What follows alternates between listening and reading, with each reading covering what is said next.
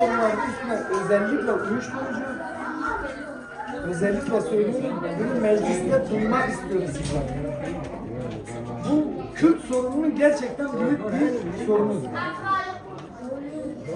Gençlerimiz hebe oluyor. Kimi cezaevinde, kimi bahçelerde kalıyor, kimi evine gidemiyor, kimi işine gidemiyor. Biz bunları özellikle sizden rica ediyoruz. Şu an bizden 600 TL talep ediyorlar.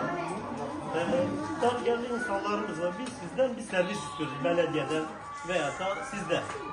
Bir servis istiyoruz mahallemizde. 200 tane öğrencimiz var. Aşağı yukarı Okullar aynı yerde midir ne yakın mı? okul bize bir buçuk kilometre, 3 kilometre uzakta gitmiş gelir. Tek bir okul. Tek okul değil mi? Hani şey için. Komple sadece tek bir okul var.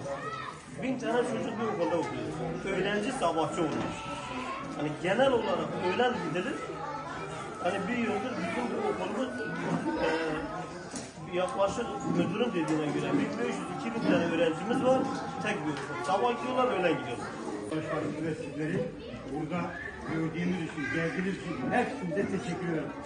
İşindekilerimizden biz şunu istiyoruz. Ben burada uzun dönemde çalıştığım için her zaman küçük çocukların yerine bir tiyatro yapılsa, bir şenlik yapılsa Mahallemiz gerçekten kanalizasyon tarafında da mağdurdur. Bu mahalle gene iyidir. Bu mahalle hepsi benim arkadaşımdır biliyorum. Mahallemiz çok mağdurdur. Biz bugüne kadarki mücadelemizde neyi kazandıysak, neyi elde ettiysek biz örgütlülük elde ettik. Yani şunu her yerde her zaman söylüyorum. Biz sadece bir siyasi parti değiliz. Biz bir halk hareketiyiz. Halk hareketi halkıyla birlikte vardır. Biz bir halk hareketinin seçtiği vekilleriz. Sadece bir siyasi partiye verilen oylarla seçilen vekiller değiliz. Bunu ifade edeyim başta.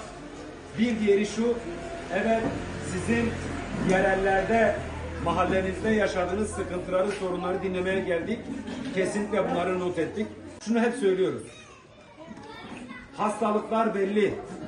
Teşhisi de ortada, çaresi ortada. Çaresi örgütlenmek, bir arada olmak, birlik olmak.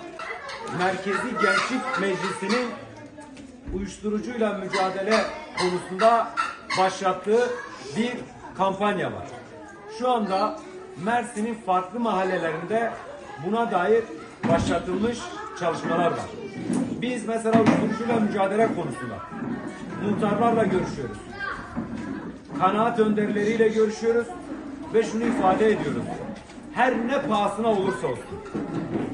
Biz bu sistemin geleceğimizi, gençlerimizi elimizden almasına izin vermeyeceğiz. Bunu yaparken de uyuşturucuyla mücadele ederken de bu mücadelemizi halkla birlikte vereceğiz. Ee, dinlediniz, sabırla dinlediniz, bizi burada misafir ettiğiniz emeğinize sağlık. Önümüzdeki süreçte tekrar bir araya geleceğiz. Bu sorunların takibini yapacağız. Vekillerimizle, meclis üyelerimizle, belediye örgütü, ilçe örgütümüzle birlikte önümüzdeki süreçte tekrar bir araya geleceğiz. Dileriz bir sonraki bir araya gelişimizde bu sorunlar çözülmüş olsun. Farklı konularla ilgili fikir alışverişinde bulunalım. El birliğiyle bunları çözeceğimize inanıyorum. Tekrardan arkadaşlara bizi sabırla dinledikleri için teşekkür ediyoruz. Ve beni hayır başlığı da serkentine bağlı.